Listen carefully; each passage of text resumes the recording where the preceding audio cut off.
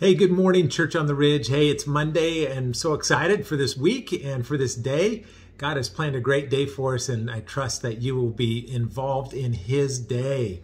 Uh, it's um, time to look into His Word in Matthew chapter 6. He says, You know, don't worry about what you wear or what you eat. Isn't life uh, consists more of food and clothing?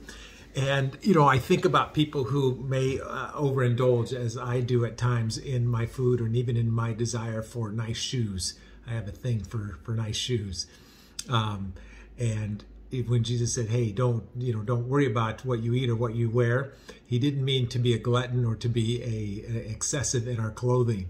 Um, so don't take that. What he's what he's pointing out to is, hey, look at the birds of the air and the flowers of the field they're clothed and they're fed even better than the, the, the riches of people like Solomon, you know, Bill Gates or Jeff Bezos.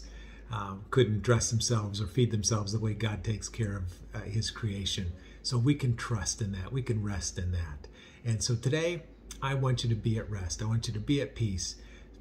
The struggle inside your head, even even this morning, maybe if you're, you haven't gotten up yet or gotten out of bed, um, and you can't even figure out what to wear, don't sweat it. God is going to take care of you.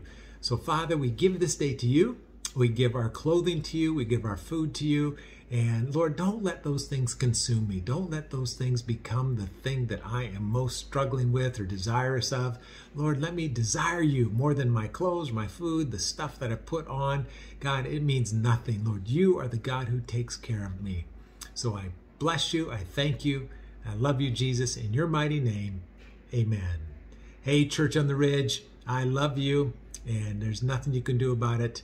Uh, dress well today, but don't stress over it. In Jesus' name.